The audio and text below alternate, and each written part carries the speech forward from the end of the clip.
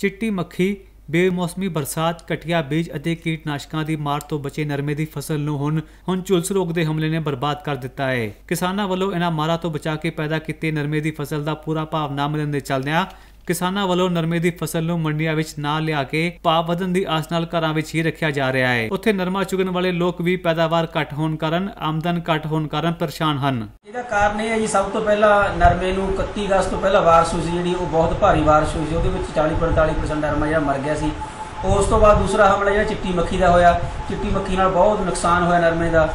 ਇੰਨਾ ਜ਼ਿਆਦਾ ਨੁਕਸਾਨ ਹੋਇਆ ਕਿ ਝਾੜ ਅੱਧ ਤੋਂ ਵੀ ਘੱਟ ਰਹਿ ਗਿਆ।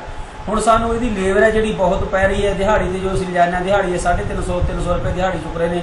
ਔਰ ਸਾਡੀ ਜਿਹੜੀ ਉਹ ਪੈਦਾਵਾਰ ਨਰਮੇ ਦਾ ਝਾੜ ਹੈ, ਉਹ ਬਹੁਤ ਘੱਟ ਹੈ। ਉਹ ਦੂਸਰੀ ਗੱਲ ਹੈ ਵੀ ਜਿਹੜਾ ਰੇਟ ਦੀ ਗੱਲ ਹੈ, ਰੇਟ 3500 ਤੋਂ 4000 ਤੱਕ ਬਾਜ਼ਾਰ 'ਚ, ਮੰਡੀਆਂ 'ਚ ਵਿਕ ਰਿਹਾ ਨਰਮਾ।